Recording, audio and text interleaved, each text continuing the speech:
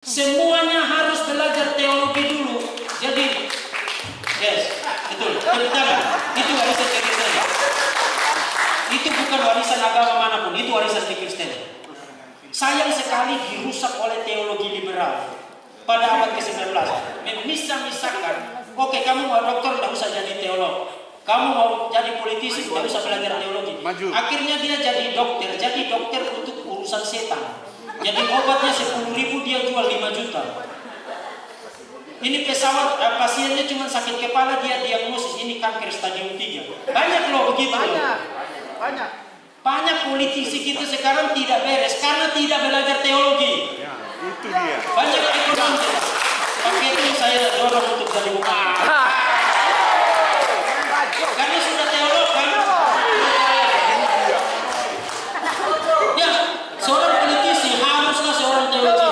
Harus. Itu kekristenan. Mau jadi ahli ekonomi, dia harus teolog. Karena ekonomi itu bukan hanya soal jumlah uang, tapi the value of the money. Nilai uang itu apa? Jangan jadi pra- Pada akhirnya ini bicara teologi. You mau jadi seorang sos- sosiolog, antropolog, ahli jiwa, dan semuanya harus belajar teologi. Jadi teologi adalah the queen of science. Itu sebabnya semua saintis, saintis kita abad 18, abad ke-19, kecuali setelah muncul Darwin ya. Darwin kan muncul pasca liberalisme itu. Sebelum muncul Darwin, semua ahli sains itu adalah teologian. Adalah teologian. Jadi mereka bahkan apa namanya uh, ada yang uh, sebagai sains tapi menulis tafsiran kitab Daniel. Teologian menulis tentang the Trinity, menulis tentang baptisan. Nah ini sains, ahli sains. Sekarang kan kalau orang studi sains kan, oh sains bertentangan dengan teologi, bertentangan kepala kau. Sebelum kau ngomong-ngomong tentang sains itu, orang-orang yang menjadi pelopor, pionir, pionir dari penemuan-penemuan saintifik yang sekarang dikembangkan dengan sangat hebat di seluruh, mereka itu orang Kristen, teologian. Jadi bertentangan apanya? Nah, oke ya. Itu hanya untuk membuka perspektif kita. Jadi kekristenan itu sebuah worldview, sebuah pandangan dunia, wawasan dunia. Worldview berarti kita lihat everything, teologi Tuhan, hidup ini, pekerjaan, rumah tangga, semuanya kita lihat dari sudut pandang kekristenan. Itu teo, itu kekristenan. Nah ini saya ke mana-mana, saya menyerukan hal ini karena banyak orang sekarang pikir university itu miliknya orang-orang yang non Kristen. No, kamu sekarang yang belajar-belajar di university apa pun itu, akademia itu memang didirikan oleh orang-orang Yunani, akademos namanya. Pada masa Yunani. Tapi pengembangannya sebagai sebuah university itu warisan kekristenan. Warisan kekristenan. Dunia ini berhutang kepada kekristenan, kemajuan dunia berat. Makanya seorang sejarawan di Inggris sekarang, Tom Holland, menulis satu buku sekarang dan dia diwawancara di mana-mana. Dia ateis, mengatakan kalau tidak ada kekristenan, peradaban Barat tidak seperti sekarang yang kita punya. Politik, pendidikan, sains, sosial budaya, dan lain sebagainya itu semua warisan penting, pengaruh penting daripada kekristenan.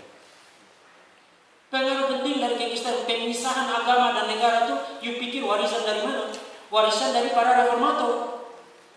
Politik di Eropa, politik di Amerika saat ini, itu yang kemudian menjadi pembentuk dari perpolitikan dunia sampai saat ini. Itu warisan dari reformasi itu.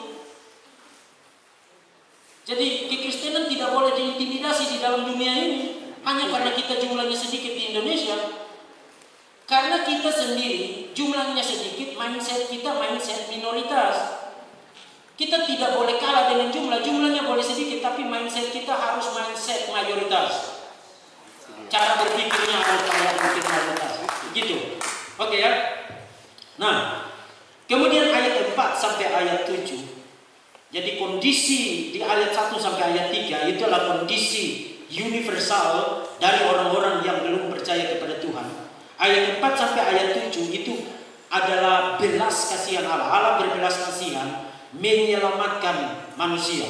Jadi kasih karunia itu menyelamatkan. Artinya keselamatan itu bukan karena kita upaya. Kalau saudara pergi melayat orang mati, saudara tidak berharap bahwa mendadak mayatnya, ah saya sudah baring tiga hari tolong saya minum. Dia tidak bisa melakukan apa pun untuk dirinya sendiri. Metafora kematian itu digunakan oleh Paulus untuk menggambarkan spiritualitas dari orang-orang yang ada di luar Kristus. Mereka tidak bisa melakukan apa pun untuk menyelamatkan diri mereka sendiri. Jadi harus ada kasih karunia anugerah yang menyelamatkan ayat 4 sampai dengan ayat 7. Kemudian ayat 8 sampai ayat 10 tujuan dari kasih karunia yang menyelamatkan adalah menghasilkan perbuatan-perbuatan baik. Jadi Paulus adalah seorang teolog Calvinis, seorang teolog reform ya. Sangat-sangat ketat sekali doktrin soteriologi di dalam surat-surat Paulus. Jadi yang tadi saya sebut sebagai teosoterik itu adalah ajaran yang sesuai dengan yang terdapat di dalam kitab suci. Nah, sekarang mari kita bahas secara khusus tentang kelahiran kembali. Jadi salah satu aspek di mana keselamatan itu jelas adalah anugerah itu kalau kita lihat menurut doktrin regeneration atau doktrin kelahiran kembali. Sekarang kita lihat dulu beberapa dasar Alkitabnya ya. Yohanes pasal 3 ayat 3 dan Yohanes pasal 3 ayat yang kelima. Nah, ini adalah dua ayat di dalam konteks percakapan Yesus dan Nikodemus. Nah, saudara ingat, Yesus tidak bercakap-cakap dengan seorang pesina di situ, seorang pencuri, seorang pemabuk, atau seorang penipu, atau seorang pembunuh di situ. Yesus bercakap-cakap dengan orang terbaik. Terbaik secara pendidikan, dia anggota Sanhedrin, berarti dia harus punya, kalau kita gunakan istilah sekarang, PhD in the law punya gelar doktor of philosophy dalam Taurat. Jadi punya gelar tertinggi pada masa itu. Kemudian sebagai seorang anggota Sanhedrin dia harus tidak bercacat secara moral. Jadi dia bukan hanya punya pendidikan terbaik pada masa itu, tapi dia juga punya moral value yang sangat tinggi pada masa itu. Dan bukan hanya dia harus punya moral value, tapi dia juga harus orang yang rohaniwan bukan? Seorang ahli hukum, ahli Taurat, dia harusnya seorang rohaniwan bukan? Jadi dia seorang agamawan, dia seorang uh, yang bermoral bagus, berpendidikan bagus, termasuk anggota Sanhedrin. Sebenarnya itu punya itu posisi middle ya, menjembatani kepentingan politik Romawi dengan kepentingan orang-orang Yahudi. Jadi dia juga punya political connections yang sangat bagus pada masa itu. Dan Yesus bicara kepada orang ini, kamu harus dilahirkan kembali.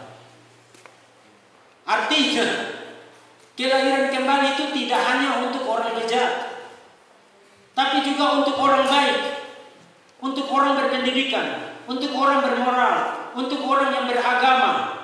Karena keselamatan itu bukan karena kita beragama atau tidak beragama, Bukan karena KTP kita Kristen atau tidak Kristen. Kita bisa berKTP Kristen dan tetap masuk neraka.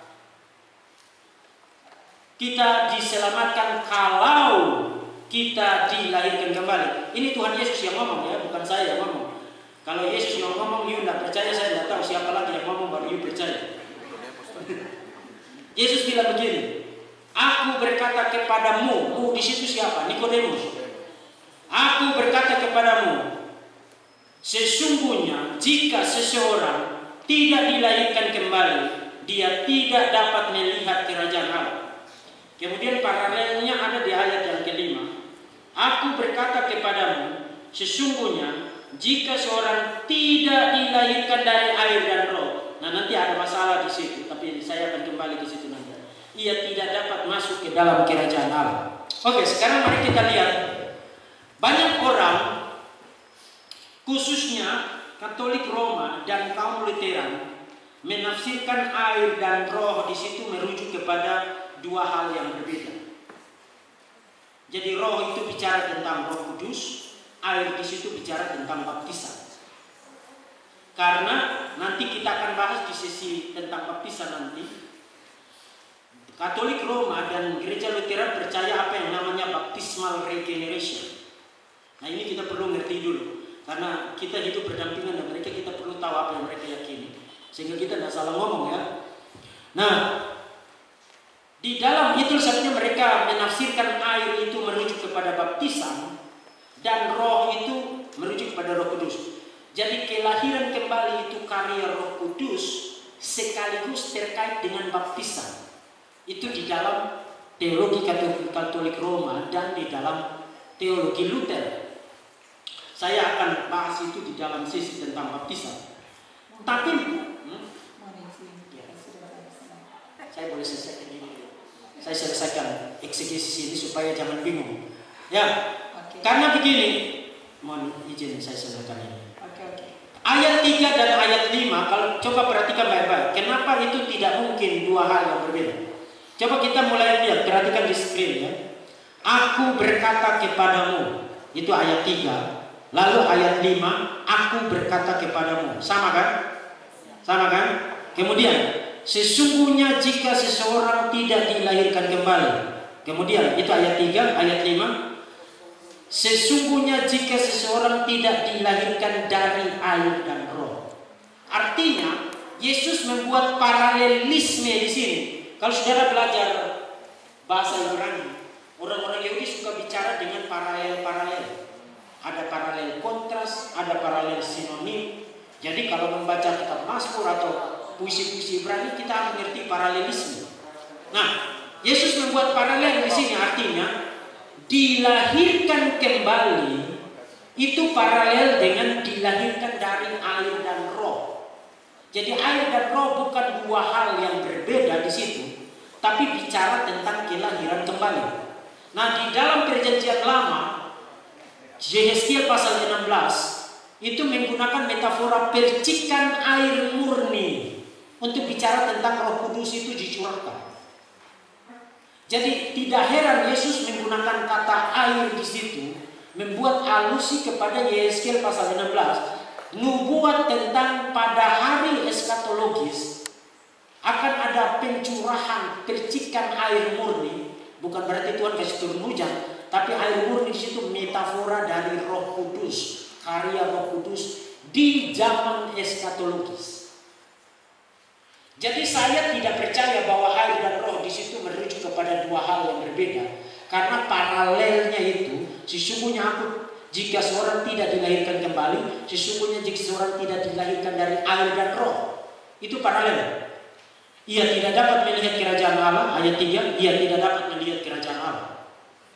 Jadi Yesus tetap bicara tentang kelahiran kembali di situ. Yesus tidak bicara tentang baptisan air di situ. Oke, terima kasih Ibu moderator silakan. Mantap. Ya, terima kasih untuk narasumber kita. Kita masih akan lanjut tapi